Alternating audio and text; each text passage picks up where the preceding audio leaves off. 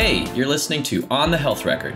I'm your host, Oleg Koujikov, and on this episode, I had the pleasure of speaking with Keegan Walden, COO and co founder at Torch. Torch is an integrated platform that helps leaders learn, develop, and manage their growing teams. Keegan's winding journey began in Buffalo, New York, ran through Yale, and really took off due to a chance meeting with a couple of coaches and mentors. Along the way, he even channeled his lifelong interests in humor and personal development into acquiring a PhD in clinical psych. You'll also learn about what led him and his co founder, Cameron Yarbrough, to create Torch's leadership training platform. We talk about the value of coaching, how it works in Torch's software, and how coaching has changed his life and his own leadership capabilities. We even tied in some sports metaphors along the way, so you know this was a good conversation. Keegan showed up ready to share some fascinating personal stories, insights, and more in what shaped up to be a very fun interview for me. Interested in how he would coach Steve Jobs? Then let's roll tape. All right. Thanks for joining another episode of On the Health Record. I'm excited today to have Keegan Walden, co founder and COO of Torch. Today, we'll be talking about how to cultivate and grow business leaders within your organization. But before we get into that, Keegan, thanks for joining me on the Health Record. Thank you for having me. Happy to be here.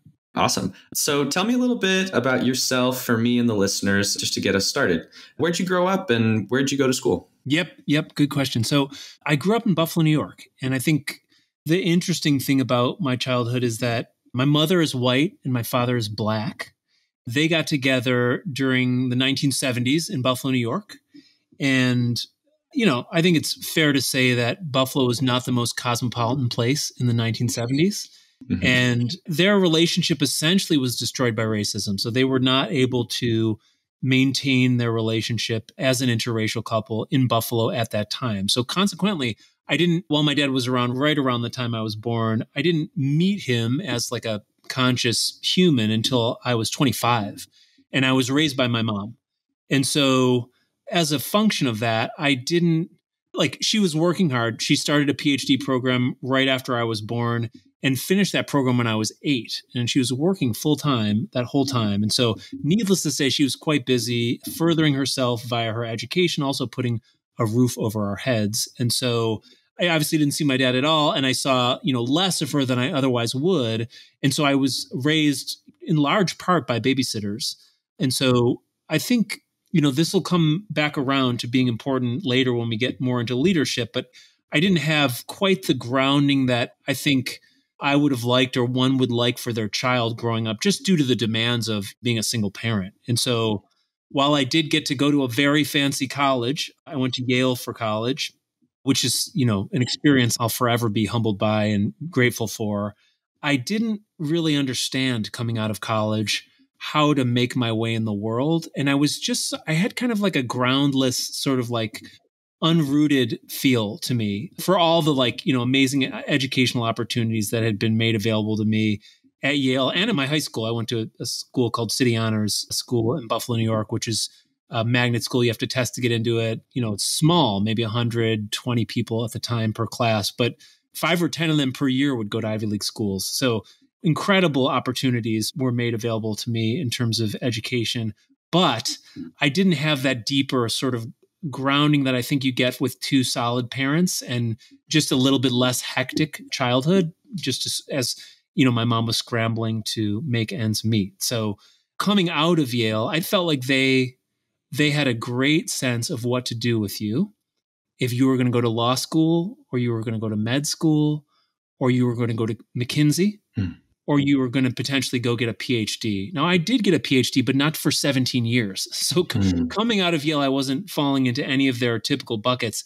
And my experience was that they had no idea what to do with you. At the time, the Career Services Center was a bunch of dusty old binders with outdated internships and job opportunities, and it was basically just useless. So, I graduated, promptly moved out to San Francisco had no real idea like how the professional world worked fell into a job at a startup and gradually pieced it together. But i really i think it's an overstatement to say that i lost the first 10 years of my career but it's not much of an overstatement.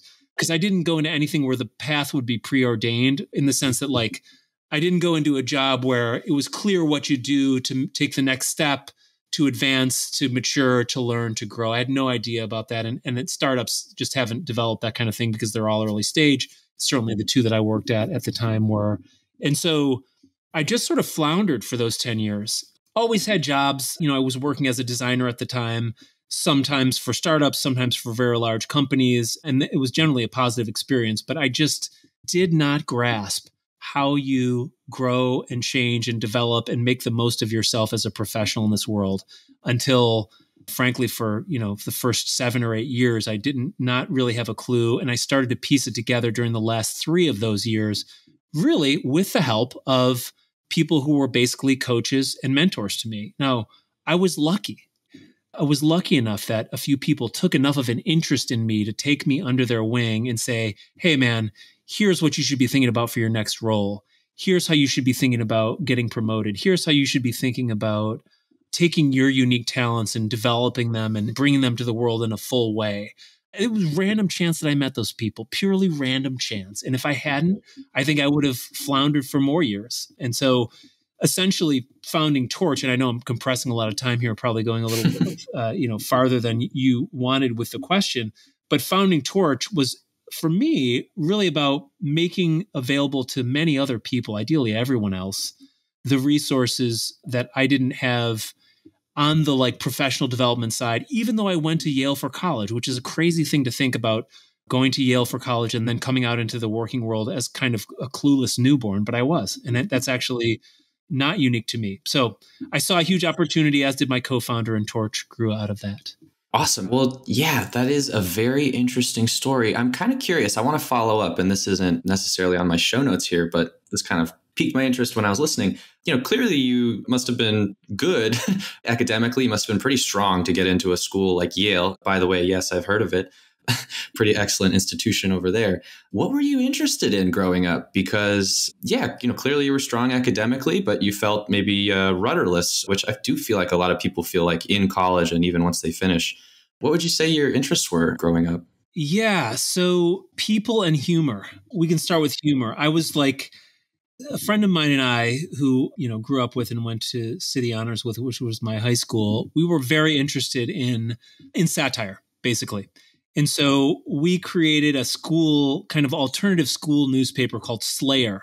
Uh-huh. And we would write these very irreverent satirical pieces, which, you know, lampoon some new policy or some teacher's like strange way of relating to their students or whatever the case may be. And so I was always really interested in like, hey, how can I use my observational powers or what I notice in the world around me and make something funny out of it that other people will enjoy that they're probably thinking too, but maybe they haven't just put their finger on it. And so that was one whole set of interests. And another set of interests was just around people and how they grow and develop. So this came a little bit later, but I was always interested in, well, I mean, if I'm being honest, like I was always interested in like how do people date in high school because I was not dating till the very end of high school, and I was totally you know for good reason now that I look back and, and think about it. But uh, other people were, and I was always trying to understand. Well, what are they doing that I'm not? Like, what is it?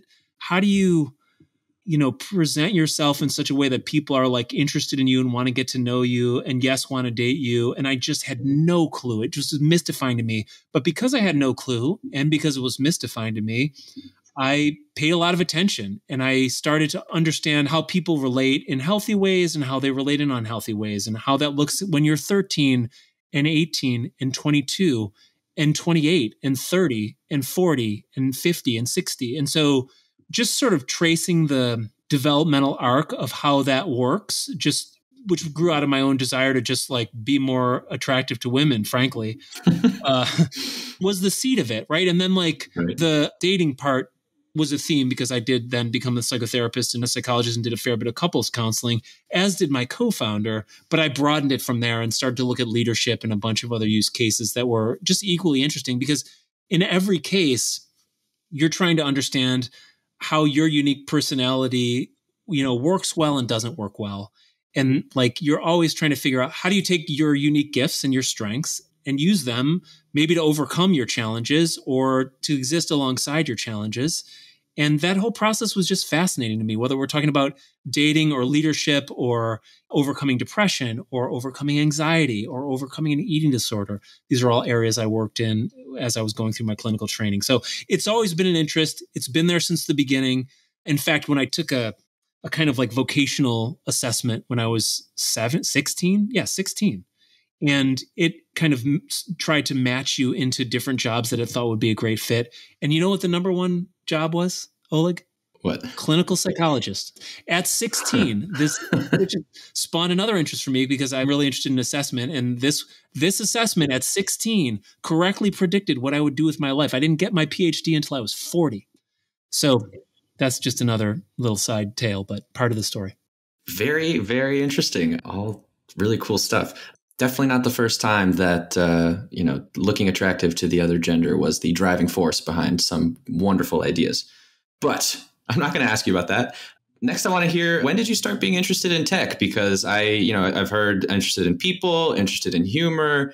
I didn't hear you say anything about technology yet, and here you are as the COO of a software company. So when did that start? Yeah, you bet. Yeah, yeah, yeah, exactly. So it actually started early, early on. So I graduated from Yale on like a Tuesday, and I was an ultimate frisbee player in college. I played on the club ultimate frisbee team. We had nationals right after graduation. So go right from graduating to Davis to UC Davis, which was the in California, which was where the nationals were held in 1997 interestingly, at that tournament, I played against the older brother of my co-founder almost 20 years before I met him.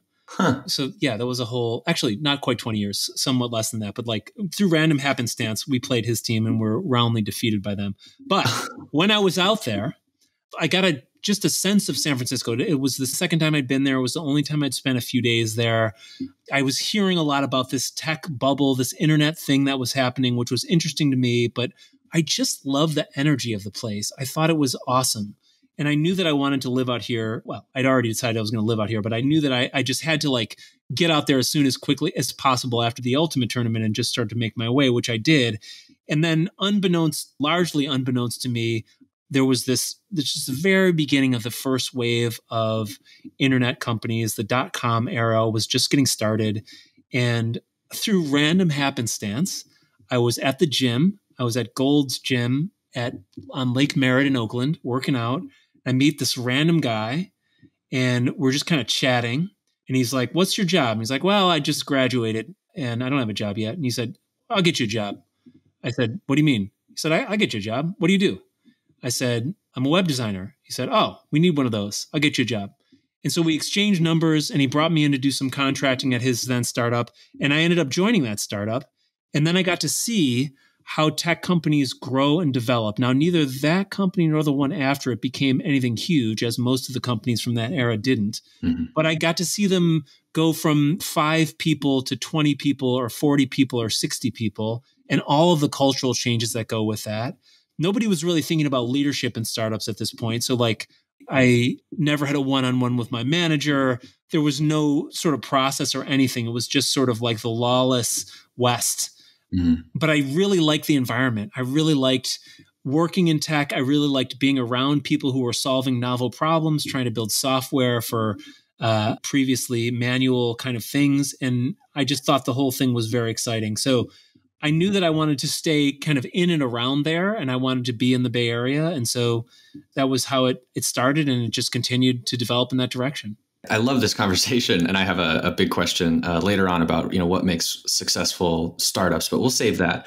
Next, I want to hear more about your experience professionally because I do believe you have experience at larger companies, right? Enterprise level, more B2B type organizations. So, can you talk about that after startups? What did you do? Yeah, absolutely. So, I spent seven years at a large bank, a large financial institute, mm. for lack of a better term. And that was a very different kind of experience, right? Where you get a tremendous amount of creativity working in tech and just endless opportunity to grow and expand yourself because as the business grows and expands like it'll grow faster than you will almost as a rule mm-hmm. and you're just trying to keep pace at a large stable financial organization it's a different kind of gift it's a different kind of understanding so the lessons don't come from growth, the lessons come from stability. And so you're trying to figure out how to operate on a team that's stable. How do you add value where your boss isn't changing every three months and the people who work on your team currently are more or less going to be the people who are working on your team in four years? And that that sounds kind of like maybe dull or or you know unsexy, but actually like it's its own really good challenge because a lot of the distraction is gone and a lot of the like newness and spontaneity is not there. And so you really have to figure out how to be a steady contributor in that environment. So it was its own kind of challenge. Obviously, at Torch, we work with people at very large enterprises. We work with people, founders especially at, at smaller tech companies who are just getting started. And to run that gamut from one to the other, and we've worked with companies as they've gone from small to quite a bit larger, is a real thrill.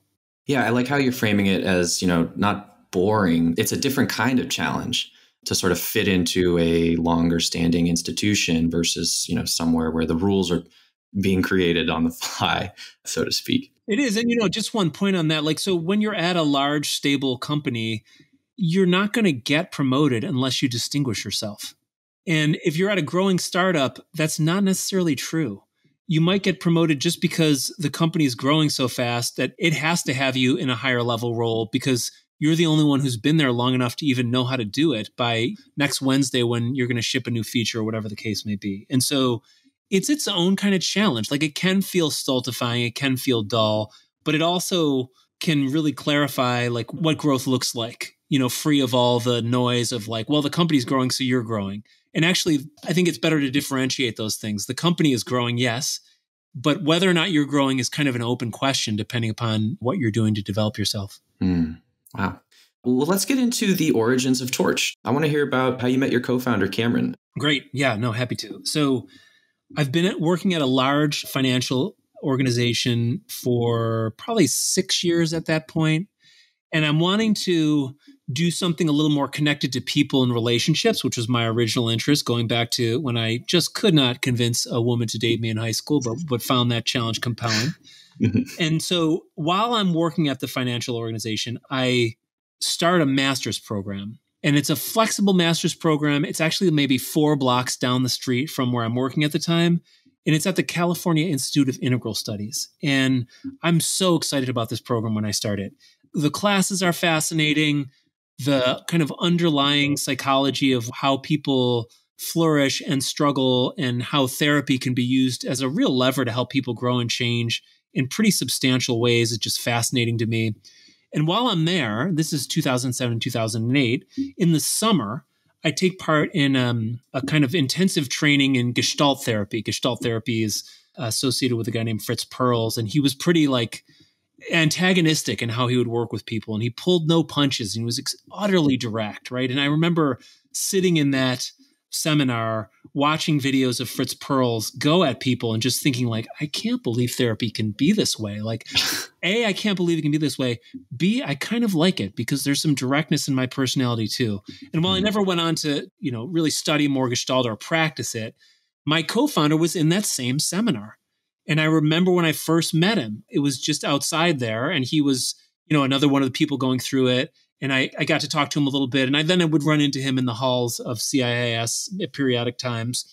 And then we trained together. So the last year of that program is what's called an internship. And you're an intern for about a calendar year. And you're, you know, you might still be taking classes, but mostly you're working with clients and you carry a good sized caseload and you're in supervision with your peers and you know you're doing all the kind of rich clinical stuff and so i met him in the gestalt therapy workshop and recognize that, hey, here's another guy who's kind of like me, who's like trying to figure himself out, trying to turn what he's learned about himself into helping other people. Then we did that for a year at the Pierce Street Counseling Center there in San Francisco, which is attached to CIIS. And that was an amazing experience. I mean, you wouldn't believe the depth of that place. There were maybe, I don't know, 20 of us. We'd spend a full day, a week going through different kinds of trainings. We were in what were called T groups together in a T group for listeners who may not be familiar, which is probably most of them, it's essentially an opportunity to get the feedback you don't get in polite society. So if you are rubbing people the wrong way, you hear about it and then you feel the effect of your behavior on people.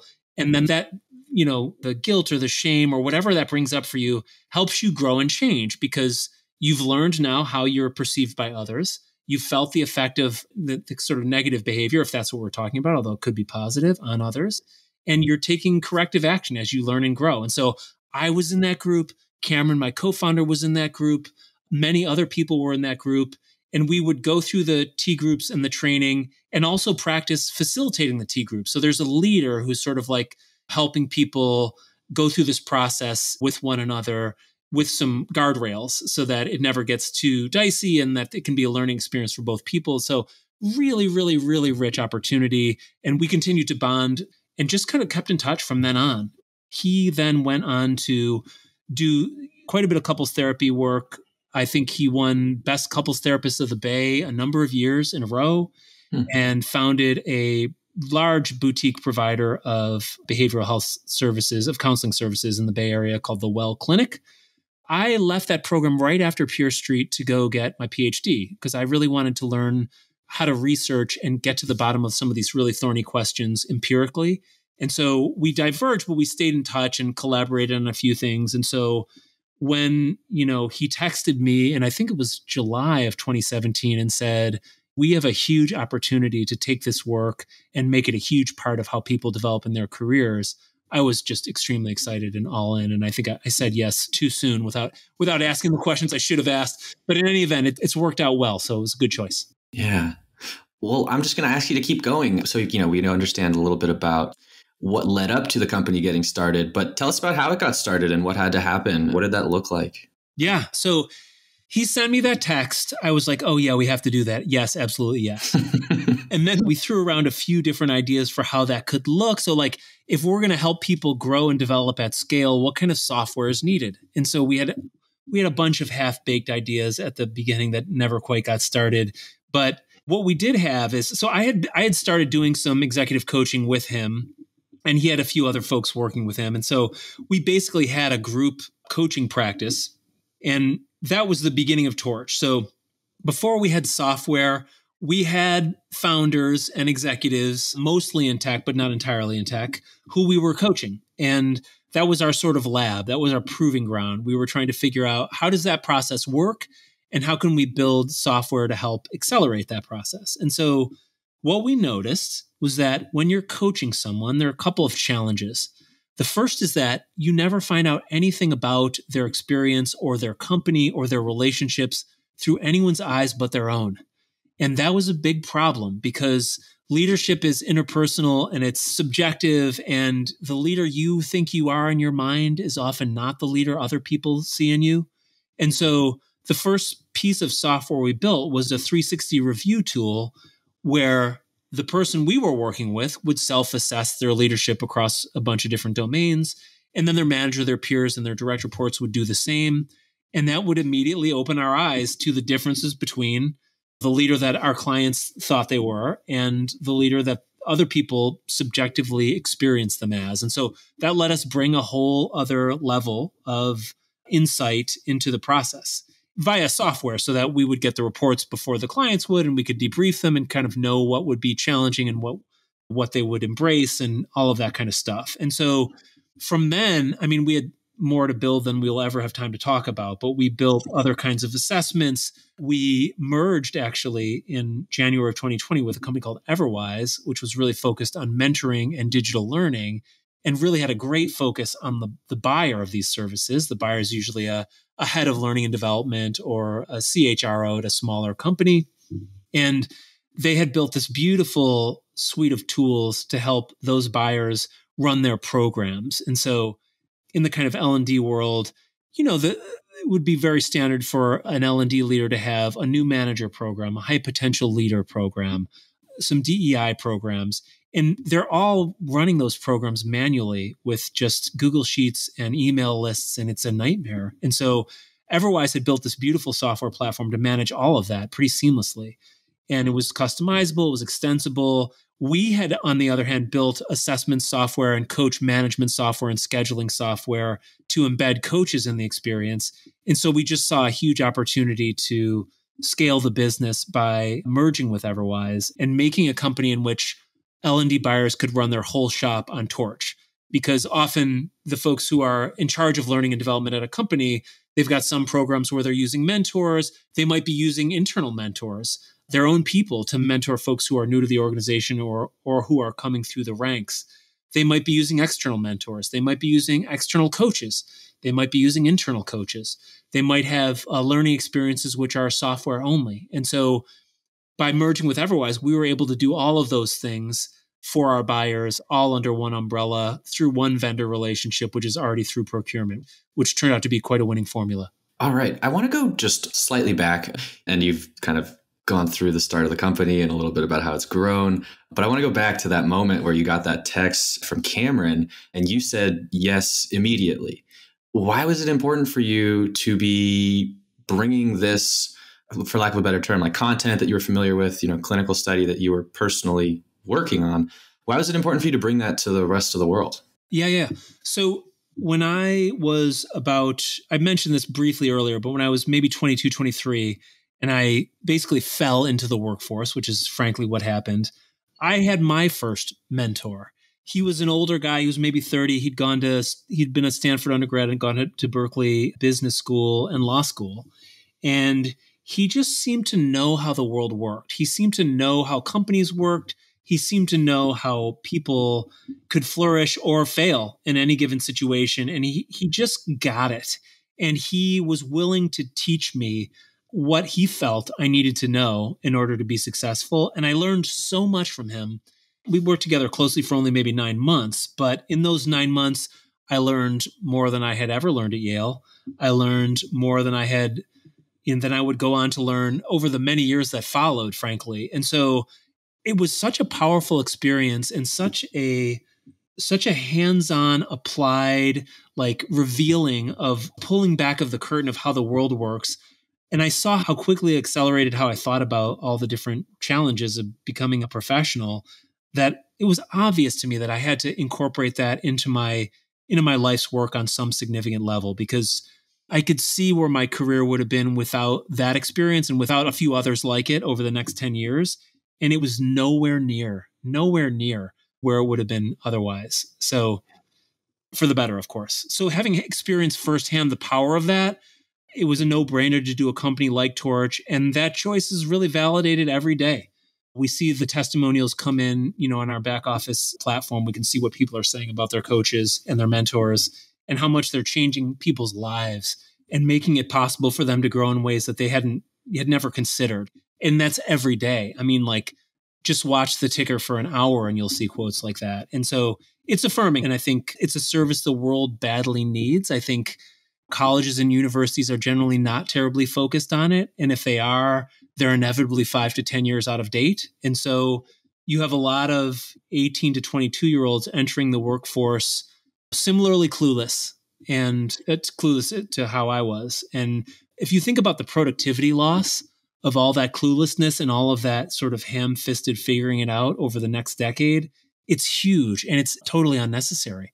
You don't need to have careers proceed in such a flat way with so little support, particularly for millennials and Gen Z. I think there's also like this whole generational effect here where I'm Gen X. And so I didn't come into the workforce with any real expectations that my company was going to do anything to help me grow as a leader. That was just not really a thing. Certainly, it wasn't a thing for boomers or the generation that preceded them.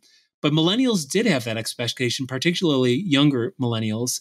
And Gen Z really has that expectation. So I think, you know, it's a valuable service to provide, coupled with several generations. And the oldest Gen Z folks are just entering the workforce. I think the youngest are about nine. So we can expect this trend to continue. So it's a valuable gift to give people and it's being embraced by the folks who are coming through the ranks and for the folks who are older who didn't come into the workforce with that expectation but really saw the toll that it took on their careers not getting this kind of support so we're we're coaching people in their 60s 70s and beyond and they're finding a lot of value in it too so it's good to see yeah Definitely. So when you talk about the value of coaching, I actually come from a, a, sports background. I played water polo in high school and college, and I swam.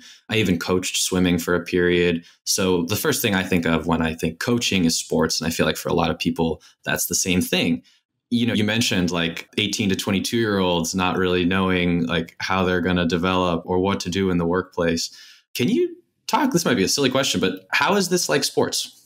Oh, there are so many parallels. So think about what you're doing. You talked about water polo. I cannot think of a more demanding sport cardiovascularly than water polo.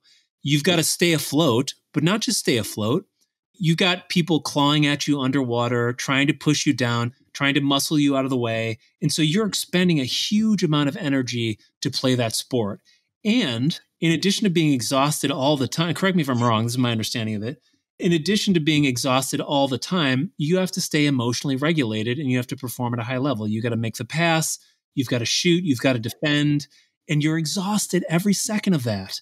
And so, what is coaching teaching you? It's teaching you teamwork, if we're talking about sports coaching, teamwork and also self regulation under duress. What do you have to do in a company, especially a growing company? You've got to stay regulated when your boss doesn't think you did a good job You've got to stay regulated when a project that you were really excited about didn't go well, or maybe it did. And like everyone now wants you to go do all these other projects. And so, how do you hold those boundaries? And you need teamwork. You need to inspire others. You need to figure out how to pull the best out of everyone around you. That's true whether you're leading the team or whether you're not leading the team. And so, the early analog of the kind of leadership that you eventually will end up embracing in the working world is sports it's the best analog. So I, I think it's a perfect metaphor. Awesome. Yeah. Oh, thank you. All right. Let's dive into uh, uh, dive into this a little bit more and, and, what it looks like for your users. Can you talk about you know what does this look like getting set up from all the way from you know hearing about Torch, thinking it's a good idea, to meeting with a coach regularly and receiving the benefits of coaching. Like what happens in between those two things? Yeah. Yeah. So I'd start by saying we're a B two B business. So we are selling to the people at organizations who have to grow everyone essentially help everyone grow and develop. And so we will sell to a head of l&d at, at a company. They'll already have a bunch of programs that they run typically. New manager dei high potential leader programs like this. And so they'll engage torch to help with that process because like i said it's totally manual for most folks. And so the, a lot of their time is just lost to just delivering the programs instead of being strategic, which is what they would like to do and most people would like to do. And so we can we'll use coaching as an example. It looks a little bit different if you're going through learning or, or mentoring, but in, in coaching, the buyer will figure out, okay, I've got these programs and I want them to be supplemented with a coach. And so part of that will be reading things, part of that will be some reflection prompts, part of that will be some assessments that folks take, part of that will be meeting in a group or individual format with a coach. And so those are the basic constituents. And if you're going to go through that process, the software will invite you to create a profile. And we've all done that a million times for a million different pieces of software. But then it'll take you through a coach matching process. And that coach matching process is based on a few different factors. And this is where my doctoral training comes in. We want to know about the personality of the person who's going through coaching we want to know, you know, are they a raging extrovert? Are they really shy and introverted? Are they really agreeable and can get along with everybody? Or are they very low in agreeableness and able to make the hard decision, but also rub people the wrong way? Are they really conscientious and hard driving, or are they less so? Are they really imaginative, out of the box thinkers, or are they more practical and hands on? And how do they work with their emotions? And then we also look at this construct called openness to coaching, which is to say, are these people skeptical of coaching, not sure of its value, doubt whether it's going to be worth their time. On the low end or on the high end, they just want to get started yesterday. And can you please give me a coach? And I can't wait. And this is going to be amazing. And so we take all of this data and we use it algorithmically to pull out of our coaching pool. This is all happening via software with a, a little bit of manual intervention where needed the three best coaches we think we have that could work with them and who have the capacity and all that kind of thing. And then they can get started. They can start meeting with their coach. They can start learning the material that is part of the coaching experience. So some of that is obviously reading and writing and assessments, and, uh, and that platform does all of that. And then as they're working with a coach, they're starting to have a relationship with someone whose opinion they value and trust, and who's starting to get to know them uniquely. You know, everybody breaks down under stress in a particular way. Everyone has certain traits and abilities that that they can basically leverage to overcome some of their challenges and that just exist in their own right. And not everyone is aware of like what those strengths are or what happens to them under stress. Actually, I'd say most people are only dimly aware of that stuff. but a coach is aware of it, especially after they've worked with you over a period of time. And so having that mirror, having that person who's a you know strategic thought partner, a tactical thought partner, a psychological a thought partner really helps you understand yourself in a more rich way, helps you see your patterns, and then helps you work skillfully with the challenges that make it hard for you to be a great leader. I'll give you an example from my own life. So, like I said, I was raised by a single mom, and she was working hard to keep a roof over our heads and just support the family. And so I started doing a lot of things earlier than most kids. I was doing my laundry way before most kids. I was making my lunch way before most kids. I'm making my meals, a lot of them, way before most kids. And so that has an upside and a downside. The upside is like I'm a pretty self sufficient person.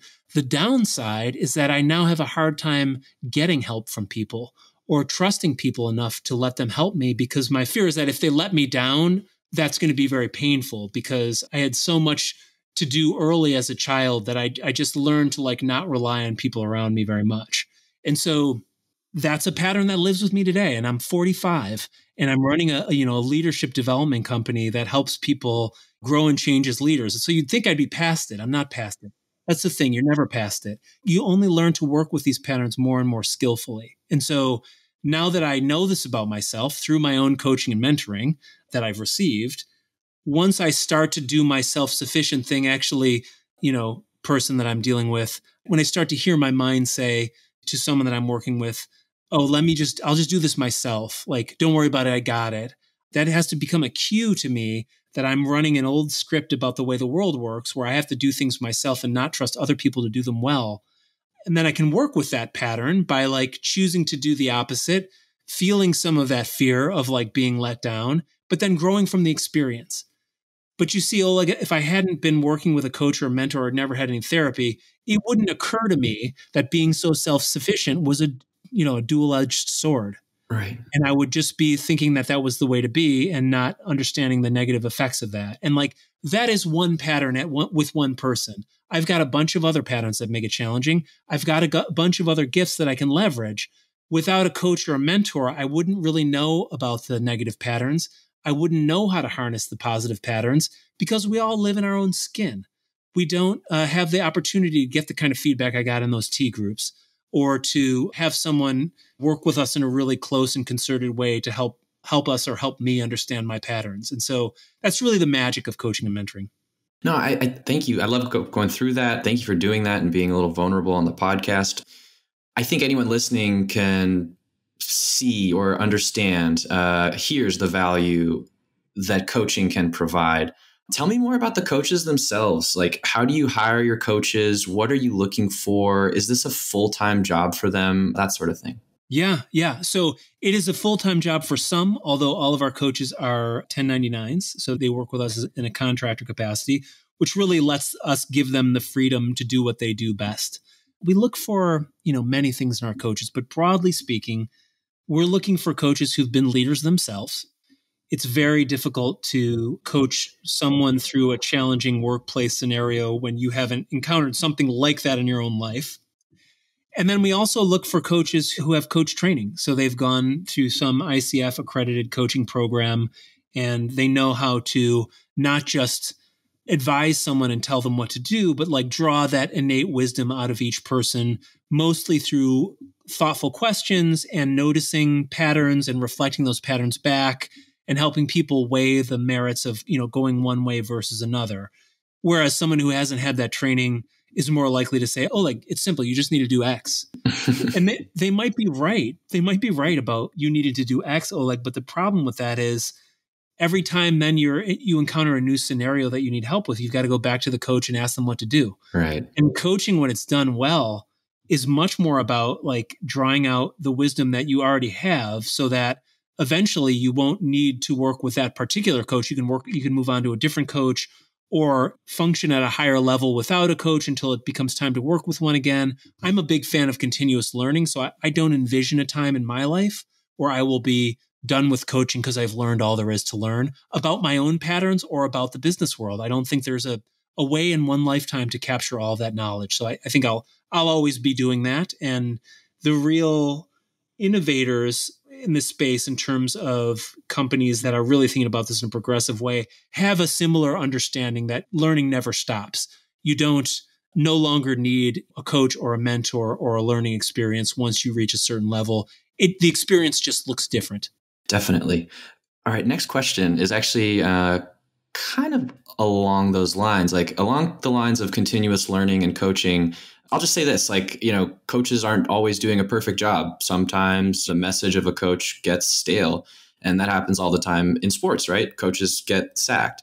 How do you kind of approach that problem? How do you kind of maintain because it's hard, right, to maintain a long-term relationship of any kind. Yeah. It takes work. So yeah, how do you kind of approach that challenge when it comes to coaching? Yeah, great question. So a coach will become stale to the extent that they're out of touch with their client in the moment.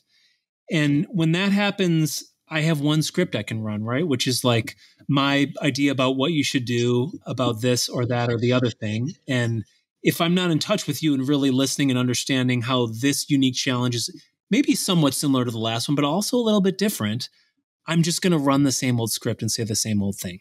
And so in our vetting of coaches before we onboard them to the platform, we take them through some really tough role plays where they have to do some very challenging things. And basically, what we're looking for is to be convinced that the coach is going to be able to handle a wide range of challenges across clients and also within clients so that they don't get stale in the way that you described. So once they're onboarded, we have software that helps us understand this process in a bit more depth. So once a coach is paired with a client, they're producing data as that relationship progresses. So there's an NPS score, which represents how likely the client is to recommend the coach. There is survey data that looks at how supported people feel by the coach, how effective their coach was in helping them set goals and then work toward those goals.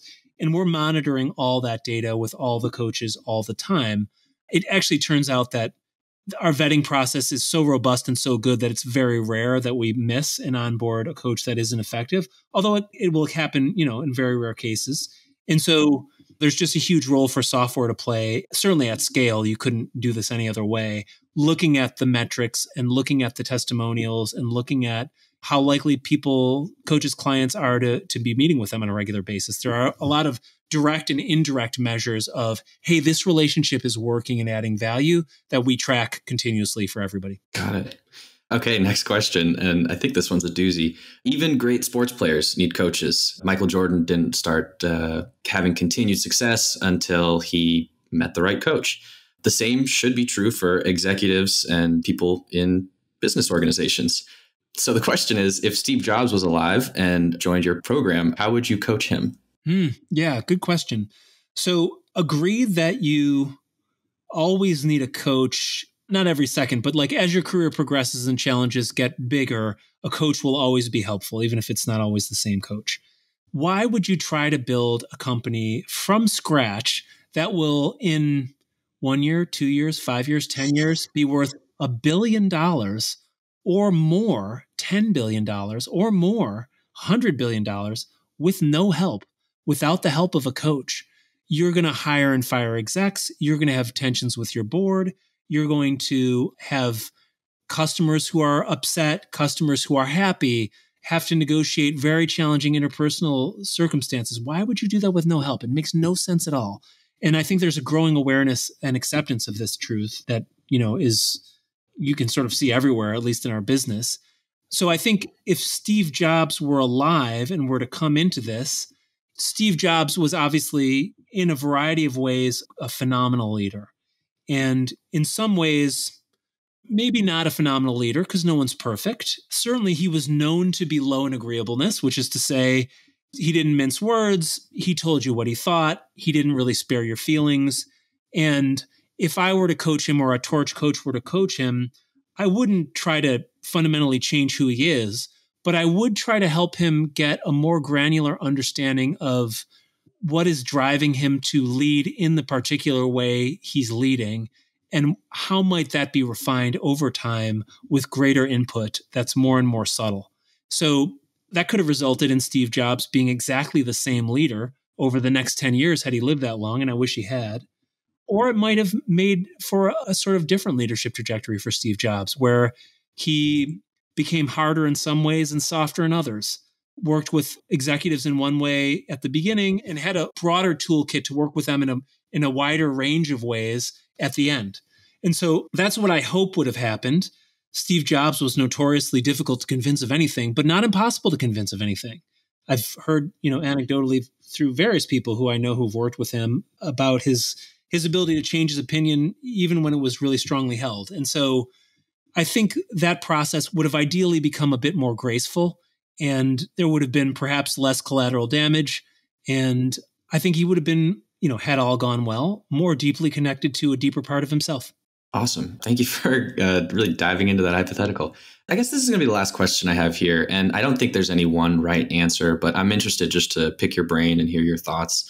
What do you think creates the best culture in a company? It could be a strong product. It could be, you know, the diversity. You mentioned continuous learning earlier. I don't think there's one answer, but yeah, what do you think about that? What creates the best company culture? Yeah. So, big question. We won't have much time to get into it. Let me. you have two minutes. yes. Okay. I can answer that completely in two minutes. No, I cannot. but I'll say this. So, let me focus on maybe one or two really specific areas that we could talk about in a minute or two. I would say that, you know, leadership flows from the top down. And it starts with the founders, or if it's a later stage company, it starts with the executive team, principally the CEO, and really does trickle down in fairly profound ways. And so, if you couple that reality with the fact that much of the working world is Gen X, Gen Y, which is millennials, and Gen Z, and those generations, increasingly so as you go from X to Z, want to have a sense of meaning and purpose and autonomy in their work like vastly more so than anyone expected from my grandfather's generation. My grandfather who spent a year on a sub in World War II and wasn't expecting the world to really give him anything at all. You got to create a culture where people can feel like those needs are met in a fundamental way. It's not realistic to expect people to get all those needs met outside of the workplace. You have to demonstrate to the people that work at your company that they matter and that each one of them matters uniquely in his or her or their own way. And so what does that mean? That basically means like if you are working at a company, you need to have the subjective experience that you can contribute something that other people can't contribute. You are not just a cog in a wheel where if you quit, they'll just get somebody else and who doesn't matter if it's you or the other person. This sort of commoditization of employees that we saw take place going back as far as the eye can see time wise up until maybe the last 10 years. I don't think that's ever coming back. And so you know, the successful cultures really help all the people at the company feel like they are making a unique contribution that they are uniquely valuable for. And so one way we do this at Torch is in every all hands, we give values shout outs. We have a number of values. One that I like quite a bit is be courageous and lean into the madness. And when someone does that in an exemplary way, one of the execs or their manager or whoever, it doesn't matter, will say that during the all hands when we, which during the period of the all hands where we do this kind of thing. And you can see what an effect that has on people. Like people want to be seen for who they are. People want to be valued for what they contribute. And it's easy to lose sight of that as an executive team. I think having worked with executives and teams at a broad range of companies, like you're under so much pressure and stress all the time to perform and drive numbers and close deals and all that. You you can lose sight of the fact that there's a reason why people are working at your company versus another company. And that is the death knell of an organization. You can't do that, especially as the younger generations get into the workforce. Awesome. Well said. All right. Well, we will wrap it up there. Keegan, thank you for joining the podcast. You've been wonderful. I would love to have you back on if that's a possibility sometime down the line. But yeah, thank you everyone for listening. Have a great day. And Keegan, thanks again for doing this. Thank you, Oleg. This was a lot of fun. Awesome. That's all, folks. If you enjoyed this episode, share it with a friend. You can also help out the show by leaving us a rating and reviewing us on Apple Podcasts, Spotify, or wherever you get your podcasts. We'd also love your feedback. If you have any remaining questions, comments, or ideas on who I should talk to next, you can email me directly at oleg.koujikov at drchrono.com. Thanks to everyone that helped put this together, including Alyse DiNapoli, Jon Murphy, and Dan Kivitinos. Thanks for listening and have a great rest of your day.